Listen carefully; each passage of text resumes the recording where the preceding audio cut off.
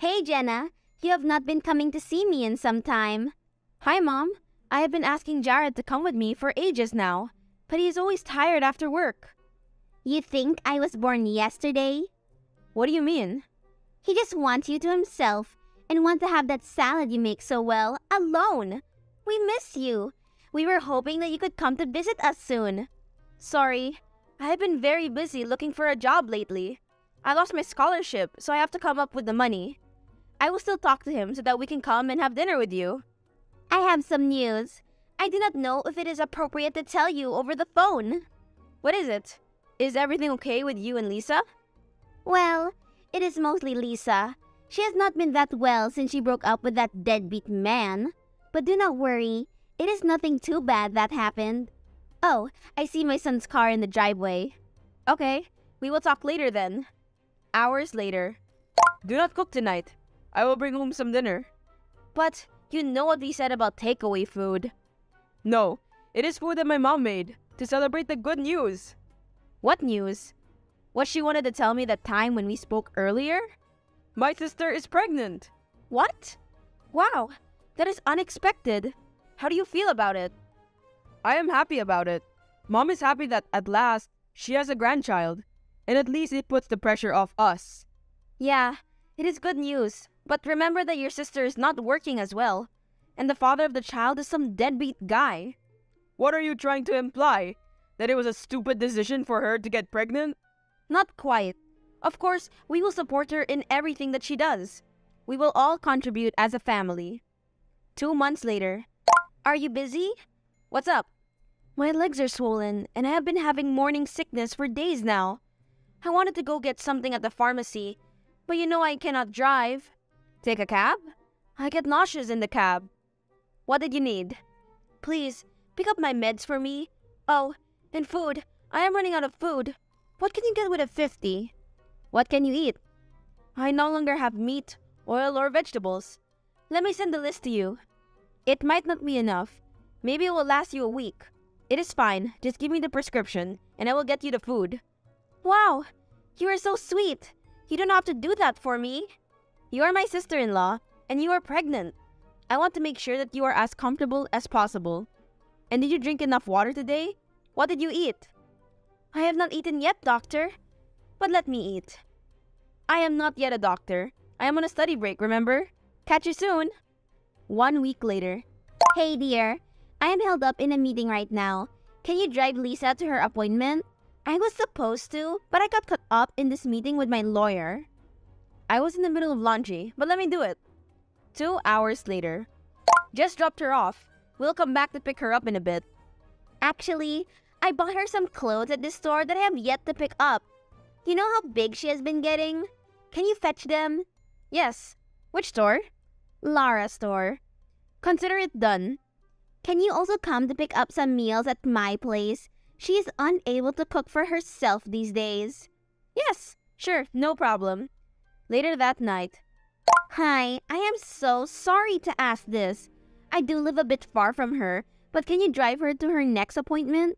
I know you are trying to look for a job so you can pay for your studies. It is no problem, Mom. The next day. Babe, I have just got home. Where are you? I am hungry. There is a pie in the microwave. I am so sorry. I had to help your sister out. You are there an awful lot lately. Do you want me to speak to my mom? If she pressured this on you. No, she did not. I offered her help. She is an elder, so it is my job to try and make life a little bit easier for her. I really do not mind running errands for her. Wait a minute. I have an incoming call from her. 30 minutes later. Bad news. What? My sister has a high risk pregnancy. How bad is it? Chances of survival might be a bit lowered because she has a weak pregnancy, so she might need 24 hour care. They're suggesting that we should hire a nurse, but it costs a lot, even if we put the money together. I feel so bad. She's been through so much. Hey, I think I might have an idea. What if I help her out?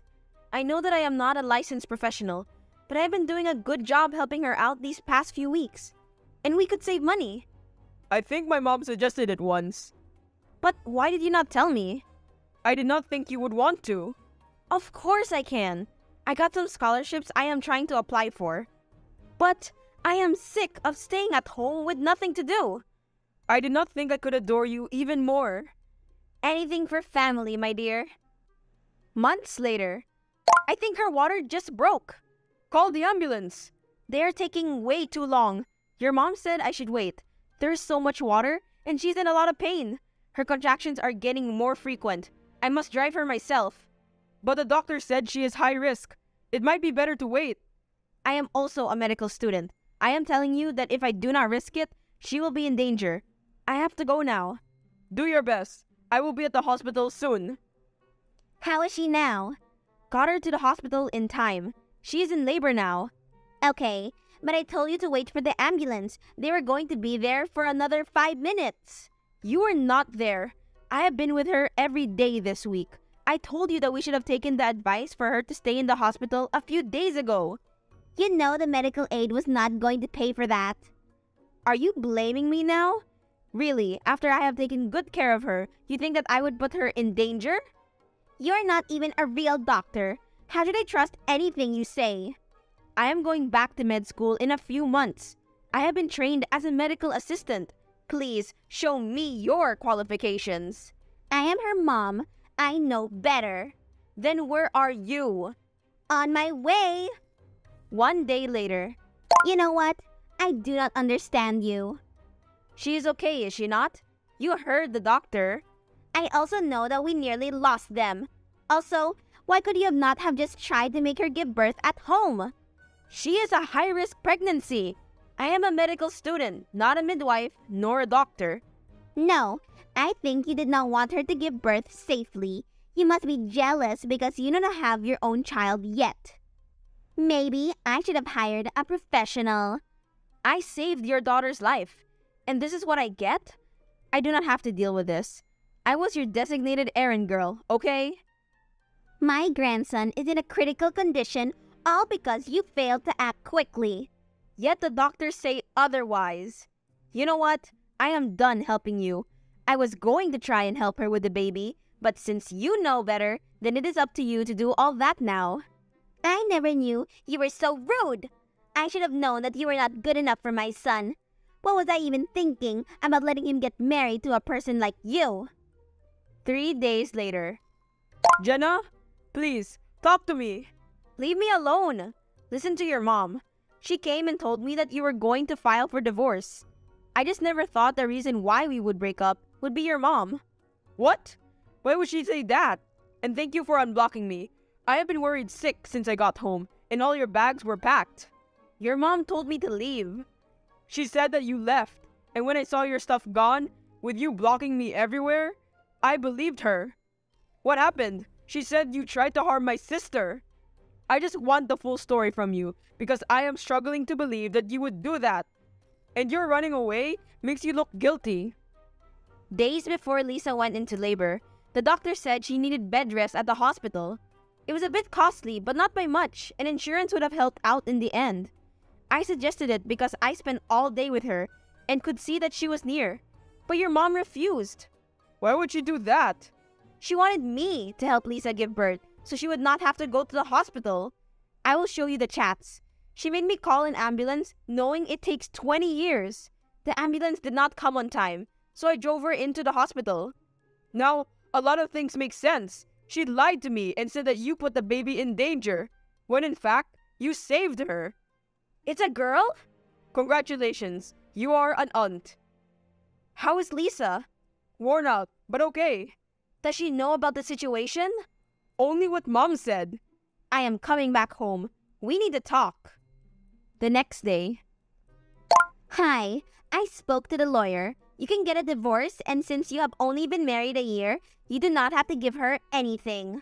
But, Mom, I have not heard what she said yet. Do you not think we are being too rushed? Rushed my foot.